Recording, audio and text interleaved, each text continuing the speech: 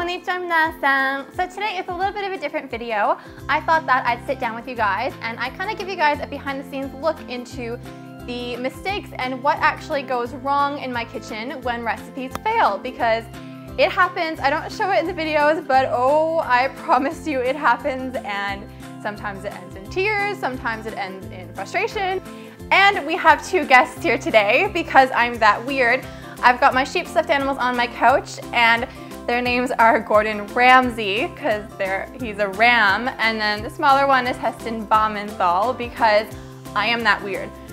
Anyway, so the first recipe that actually ever went really horribly wrong on my channel was my jelly snow globes recipe that I made a few years ago and it's one of my favorite recipes. I think it looks so cool because it looks exactly like a snow globe and the light shines through it, but it went very, very wrong the first few times I tried to make it.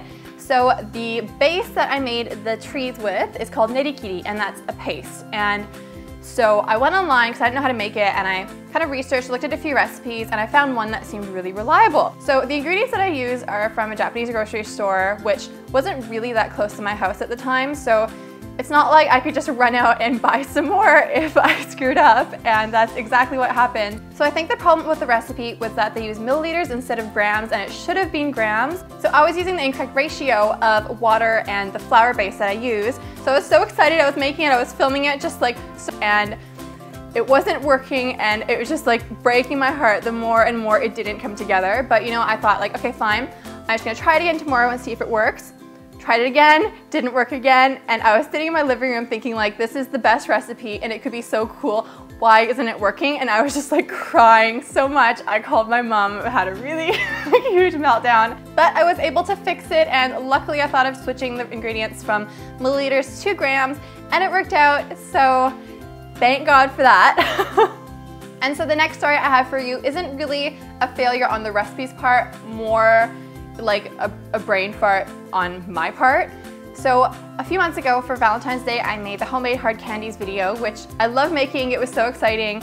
And I pre-made a lot of the other colors so that I just show one color on camera. So the night before, when I was making all the other colors, I used a larger pot and the sugar only boiled up to a certain height. So I figured that when I was filming, I could use a smaller pot because the other one was still dirty and I didn't want to wash it. Lazy me. So I started filming, I added all the ingredients, it was bubbling away, but the sugar really started to rise and I realized that the pot was actually way too small. So freaked out because the sugar kind of poured over the pan. It was freaking out like this is hot sugar. It's not fun to clean up at all. Oh my God. But you know, I was like, okay, this is fine, this is fine. I'll just pour into a new pan and it'll be okay. So what I actually failed to do anything about was the hot sugar that had spilled out onto the actual physical stove that I was using because it's a portable stove that I used to film on. But I just thought like once it heated up, it might smoke a little bit, but it would just kind of melt and disintegrate. And oh my gosh, I was so wrong. So I was filming, things were going well, it wasn't boiling up over the pot. I thought we were in the clear. And then I started seeing smoke and I'm like, you know what, it's fine, it's smoke, it's just gonna smoke a little bit and then it'll be fine. Um, and then I saw fire. And so this is where the brain fart comes in. I'm used to cooking with gas, so when I see fire underneath the pot, it's no big deal. It's supposed to be there. It's helping it cook. That, so that's what I was thinking. And um, some, for some really, really intelligent reason, I somehow forgot that I actually wasn't using a gas stove and that it was just like a little coily stove. So fire underneath my pot wasn't really a good sign. So um, I, I saw the fire and I was like, I was staring at it for like 30 seconds. I don't know why. I didn't think of doing something and I was like, oh, maybe, maybe I'll just film this for YouTube, it'd be really cool. So the second I actually was about to move my camera and you can kind of see the smoke coming out from under the pot in the video, um, my smoke alarm went on and so there was fire and massive amount of noise. So I actually had to stop filming and take the whole physical stove and stick it outside because it was winter at the time. So I put it like in the snow and I was just watching the embers die and it was like, oh my god, I can't believe this is happening. I don't know if I have a fire extinguisher. I don't want to burn my apartment down, but I could have, which is terrifying. So.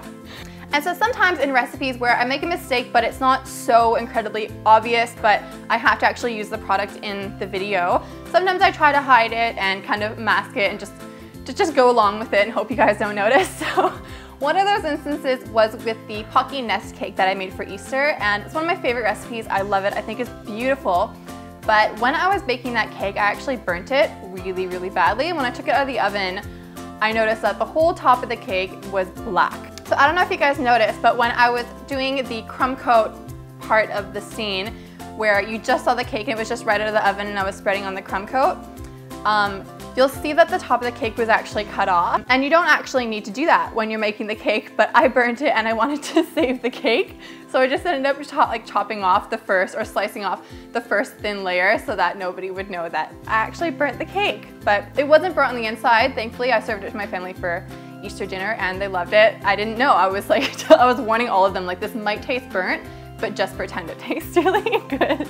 And so by far, the biggest failure on my channel so far has been the Chanel nail polish gummies video. So I posted that for Mother's Day and it's one of my favorite videos. It turned out beautifully. I'm so happy with the way it turned out.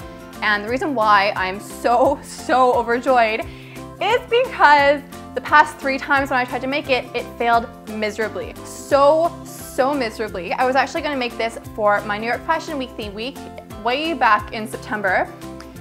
Oh, just the memories themselves are stressful. So when I was making the colorful little nail polish cubes to set in the jelly, I added luster dust and because I, I, just wanted the nail polish to be glittery because I thought that would be so cool if it was actually glittery on the inside. And I don't know if that was why, I honestly don't know why, but I tried making the colored cubes three times and they didn't set at all. At all. I don't know why, I don't know if I heated up the gelatin too much or not enough or the luster dust is what did it, but they wouldn't set. And the morning that the video was supposed to go up, I was sitting there trying to cut the like basically liquid jelly and trying to convince myself that this was set enough to use and it wasn't near, nearly set enough and it was just the most heartbreaking thing. So I remember sitting there at like 3 a.m. just like wondering what, what am I gonna do? Like what it's supposed to be Chanel. I told people I was gonna do a Chanel video. I don't know what to do. So that's why I actually made the Chanel onigiri and you guys loved it and I'm so, so glad that you loved it. And I love the way it turned out too. So maybe it was a blessing in disguise, I don't know. And so the last story that I'm gonna share with you is actually Tuesday's video. So a lot of you guys have requested that I make some sakura pudding or sakura mousse during my sakura themed week that I did a few weeks ago. And so I was going to do that and I was going to make pink pigs to go with the peanut butter pigs and fill them with sakura mousse. So instead of using milk chocolate for the chocolate filling, I used white chocolate and I mixed in sakura jam and it tasted really good. I thought it was gonna be like the best idea ever. There'd be like chocolate pigs and then there'd be pink pigs and it would be so cute and it, it worked out really, really well until the end. So I took thumbnails, I took photos, I took videos of the pink pigs. They looked so cute, it's so annoying.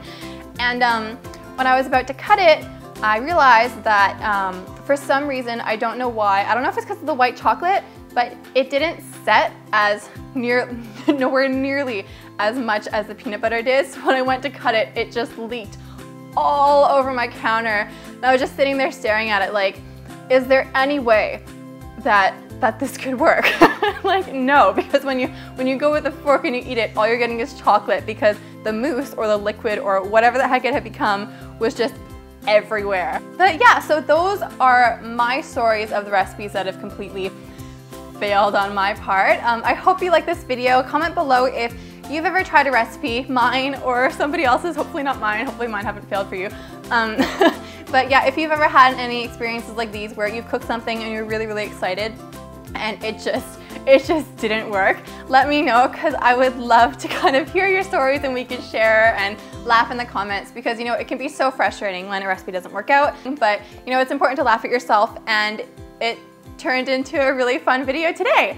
So yeah, definitely let me know what your experiences are with baking. And I will see you next Tuesday for another video. Tuesdays and Thursdays recipes are going to be a bit of a theme and I think it's gonna be really, really cool. So make sure that you check back and make sure you subscribe for more videos.